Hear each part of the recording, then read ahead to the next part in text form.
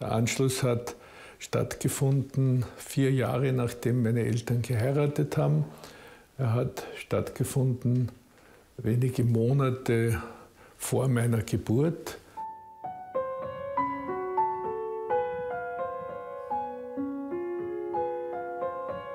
Er hat äh, das unmittelbare äh, Schicksal meiner Eltern äh, betroffen, weil mein Vater als, Sozial als bekannter Sozialdemokrat seine Stelle, seinen Arbeitsplatz äh, als Beamter bei der Gemeinde Graz verloren hat. Es ist in unserer Familie natürlich über das äh, geredet worden, äh, schon aus dem Grund heraus, weil ich als Kind schon sehr großes Interesse an dieser Zeit hatte.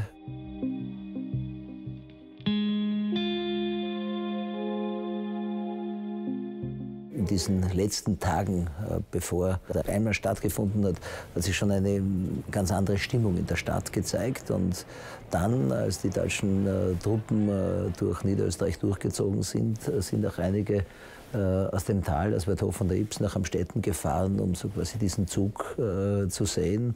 Ähm, andere sind, und das ist auch die Realität, äh, mit großer Bekümmernis zurückgeblieben.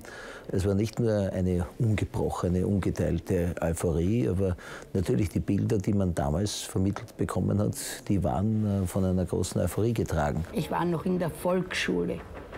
Und das hat bedeutet, dass ich sehr neugierig war. Und es hat geheißen, am Heldenplatz ist eine Veranstaltung.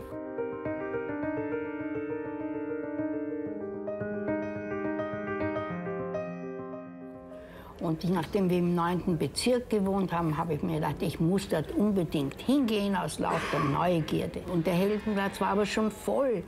Und es waren die Menschen auf den Bäumen. Und während ich dorthin gelaufen bin und mich durchgedrängt habe durch die Menschen, habe ich schon das Geschrei oder Gegröle gehört. Heil, heil, tausende Menschen, die das geschrien haben. Und das war für mich so ein, ein Erlebnis der, gleich der Angst. Und ganz genau habe ich gewusst, dass das, das ist für mich eine bedrohliche Situation. Das war meine erste Begegnung da mit dem Heldenplatz. Man muss es, wenn, sozusagen auch irgendwo immer mit den historischen Entwicklungen äh, versuchen, äh, irgendwie äh, zu verstehen.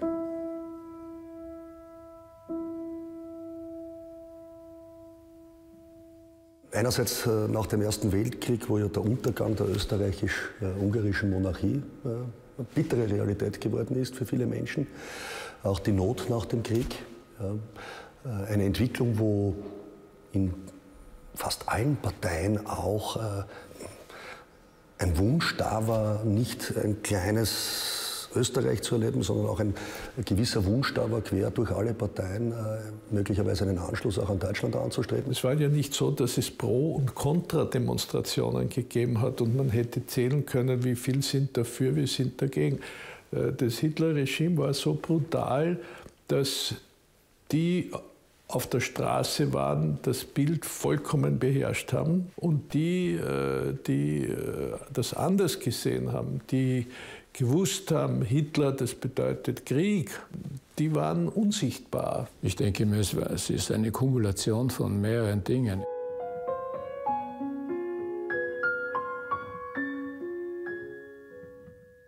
Erstens, viele glaubten nicht oder auch nicht mehr an die Überlebens wirtschaftliche Überlebensfähigkeit der Ersten Republik.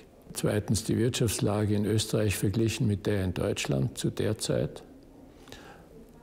Und das fehlende Vertrauen in die eigene Regierung, ähm, wir reden ja nicht vom Kampf zwischen der Nazi-Diktatur gegen die österreichische Demokratie, sondern in Österreich war damals der Austrofaschismus.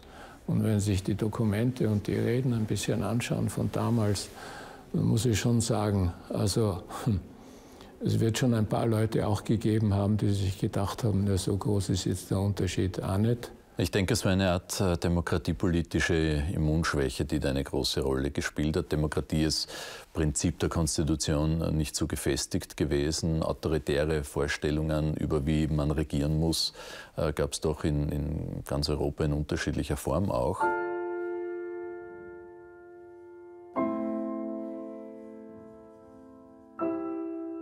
Und am Ende war es natürlich ein Prozess, wo man die demokratischen Kräfte ganz bewusst geschwächt hat und gerade in Österreich auch. Die Sozialdemokratie waren ja ein Faktor, der ja schon in der Zeit des Austrofaschismus davor sukzessive verfolgt und, und ausgeschalten worden ist. Und das hat natürlich einen wesentlichen Beitrag geleistet, dass als es notwendig war, Widerstand zu leisten, die Kräfte, die den leisten hätten können, längst äh, schon äh, dezimiert gewesen sind. Hitler hat gleich nach seinem Einmarsch in Österreich alle jüdischen Menschen, die Arbeit gehabt haben, gekündigt. Das heißt, es wurden über Nacht tausende Arbeitsplätze frei und diese wurden natürlich mit Österreichern besetzt, womit natürlich der, der Jubel noch größer geworden ist.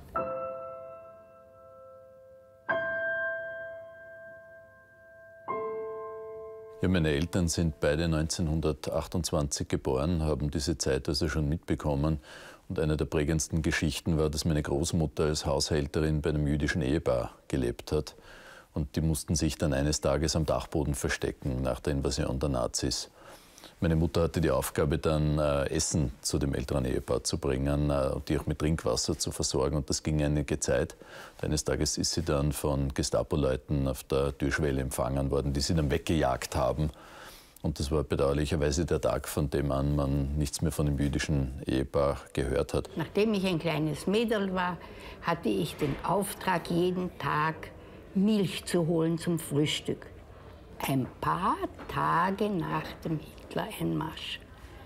Wirklich, nur ein paar Tage später bin ich also wieder mit meinem Milchkännchen hingelaufen und ich komme hin und stelle mich an und grüße brav und mache alles gut. Und die Verkäuferin schaut mich an und sagt zu mir, Juden verkaufe ich keine Milch.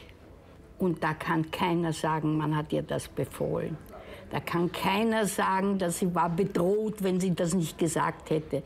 Das hat sie ganz aus eigenem, aus eigenem Bedürfnis gesagt. Und das zeigt vielleicht, wie sehr die Bevölkerung äh, für den Hitler und für alle seine Gesetze war. Man muss sich dafür hüten, äh, die den, den, Antisemitismus und die Verfolgung der Juden in Österreich mit 1938 beginnen zu lassen. Das Ganze hat ja eine jahrhundertealte, wenn nicht tausend Jahre alte, ähm, fast hätte ich gesagt, Tradition.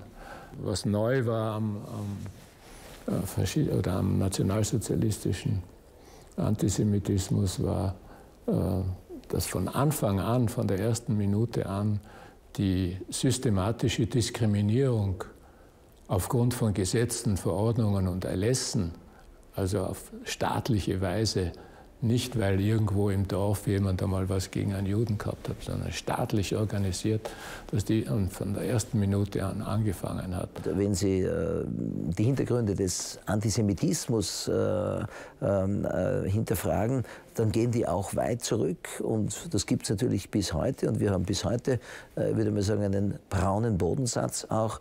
Äh, die Frage ist, wie wir mit dem umgehen und was haben wir aus dieser Zeit auch für unsere heutige äh, Aufarbeitung der Geschichte dieser Zeit, aber auch äh, für heutige Äußerungen politischer Natur, ähm, gesellschaftlicher Natur äh, daraus für Schlüsse gezogen.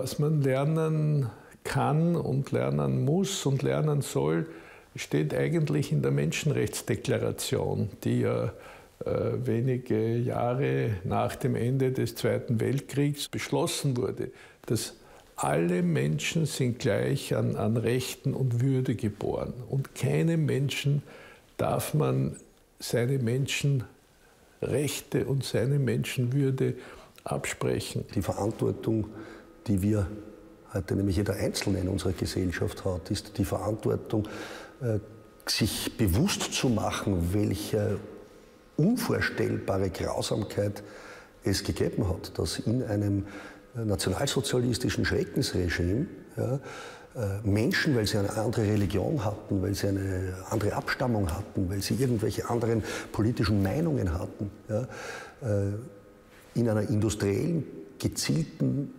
industriellen Tötung äh, sozusagen ein, ein, Massenmord stattgefunden hat, der unvorstellbar und unbegreiflich ist, dass sowas überhaupt möglich sein konnte. Ja? Äh, und äh, diese Verantwortung haben wir alle in unserer Gesellschaft für die Gegenwart und auch für die Zukunft, dass solche Mechanismen nicht einmal im Ansatz mehr entstehen können. Aber sicherlich müssen wir immer achtsam sein, wo es darum geht, liegt hier Diskriminierung vor? Irgendeine Art von Minderheit? Werden hier die Grund- und Freiheitsrechte des Einzelnen missachtet oder einer kleinen Gruppe? Die kleinste Gruppe ist nun einmal der Einzelne. Also da bin ich immer sehr wie soll ich sagen, ähm, äh, etwas nervös, wenn die Mehrheit glaubt, sie kann der Minderheit etwas vorschreiben. Ja, bis zu einem gewissen Grad, aber wo ist dieser gewisse Grad, der noch zulässig ist und wo ist es eine unzulässige Beschneidung der individuellen Grund- und Freiheitsrechte? Und ohne diese Beschneidung der individuellen Rechte ähm, das war damals in den 20er, 30er Jahren, ähm, haben sich offenbar viel, viel zu wenig Menschen darüber den Kopf zerbrochen. Wo fängt das an und wo hört das auf? Ja.